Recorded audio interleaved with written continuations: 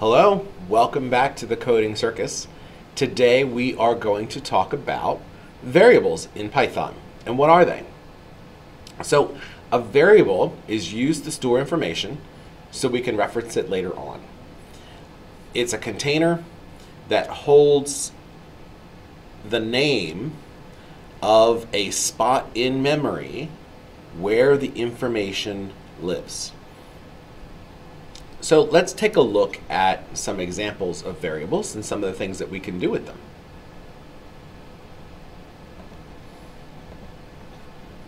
You'll notice I have the program that we had worked on before up on the screen, but today we're going to focus in on the shell panel down here at the bottom, the interactive panel.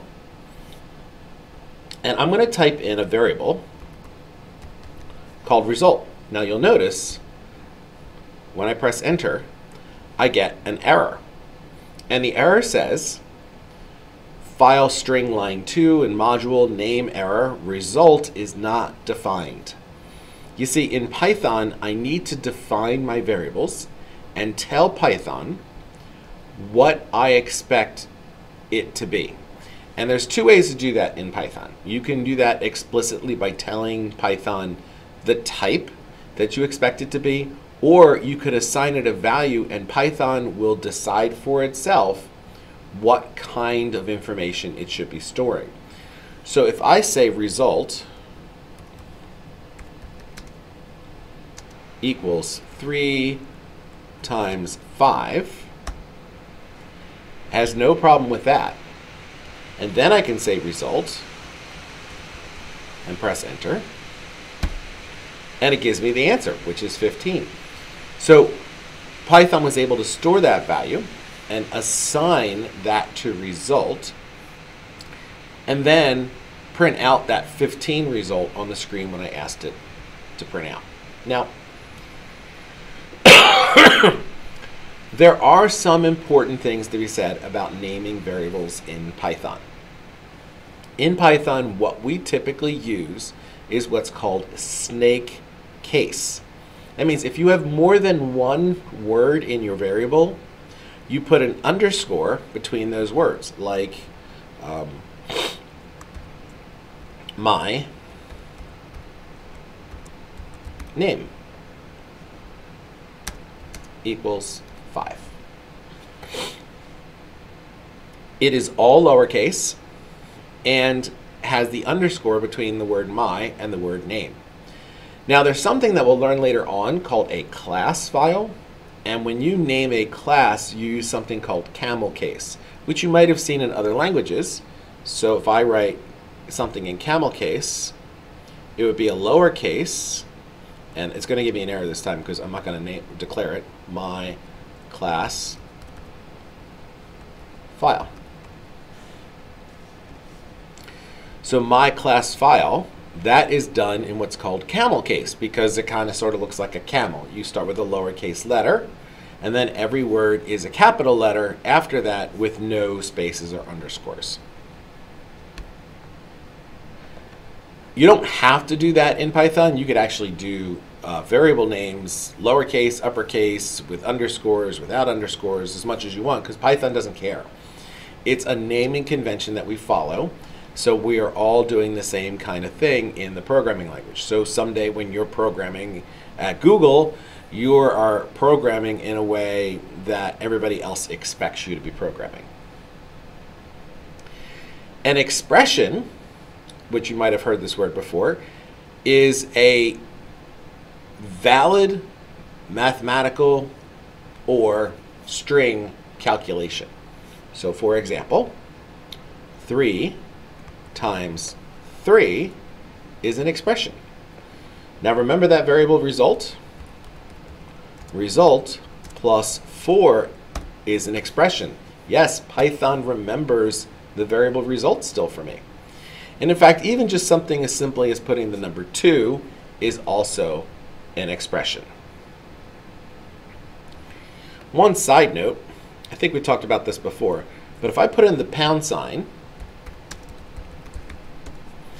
Anything that is after the pound sign is what's called a comment. and Python pretty much ignores it. That'll become useful later on when we're writing some more complicated code.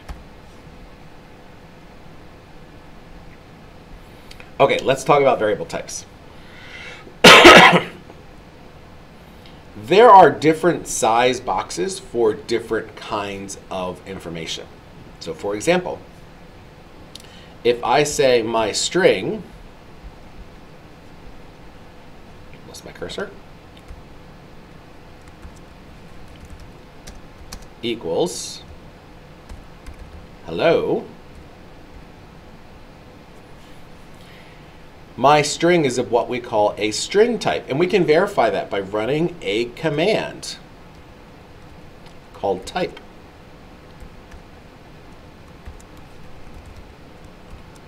And putting as the argument my string. And Java tells us that my string is of class type string. That means Java expects strings to be stored inside of that variable. A string is really a collection of characters inside of quotes. We can also check result. That variable that we created earlier. And we can see that is of class type int, which is an integer. Let's talk about things that you can't do with variable names. Um, variables must start with a letter or an underscore character. That means you can't start with a number. That's not okay.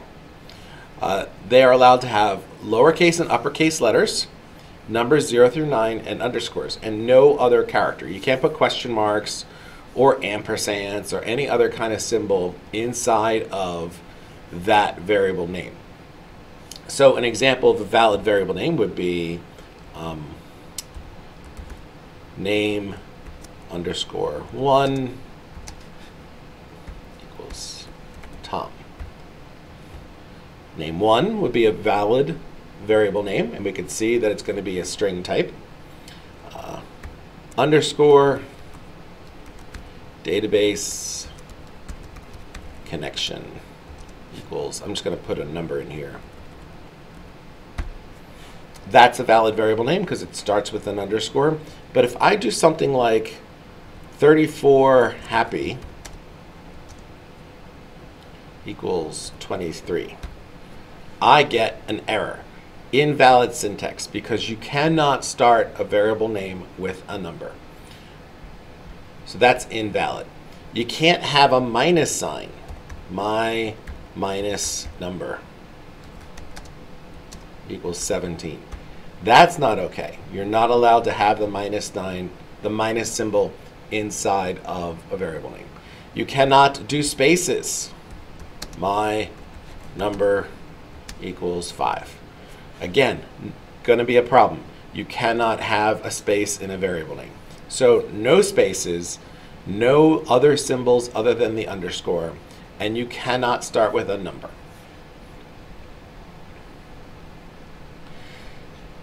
That is all of what we're going to talk about for today.